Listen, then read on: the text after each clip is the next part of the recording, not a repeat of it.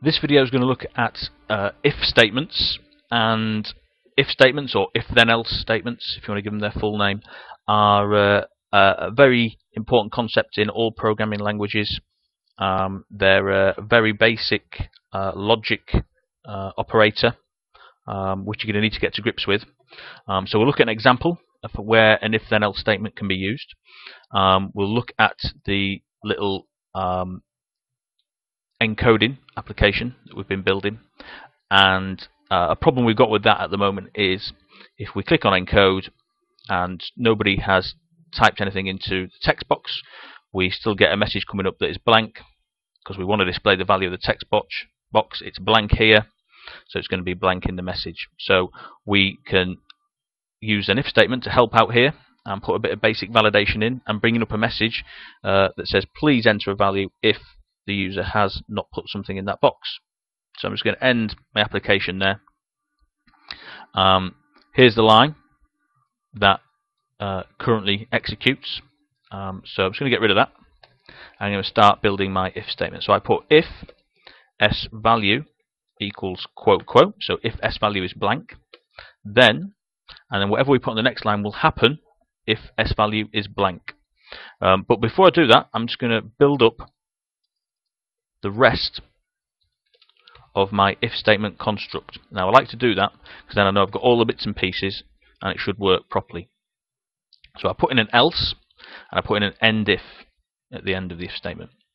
Now if s value is blank we want to bring up an error message. So we're going to use message box and please enter a value. If it's not blank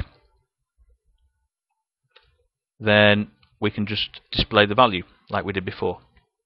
Um, so if value is blank, error message, otherwise or else display the value. So let's try it out.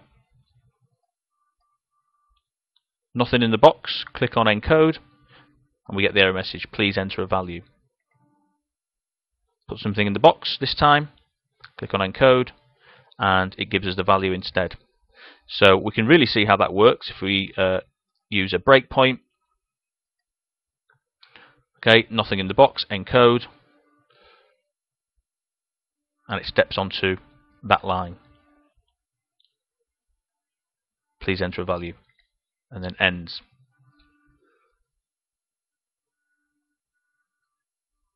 This time, if we put something in, click on encode,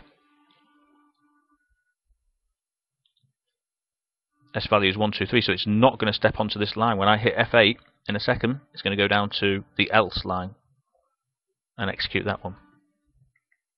So that's a simple if then else statement uh, used to good effect to validate that little application.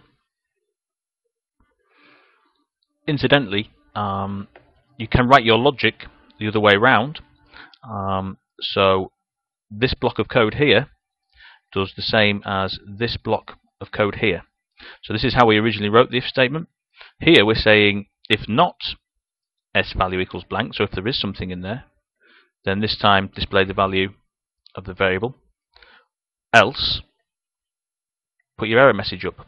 So we can just see that the logic is the other way around. Um, and we've done it by using the a not in there. So you can say if not something.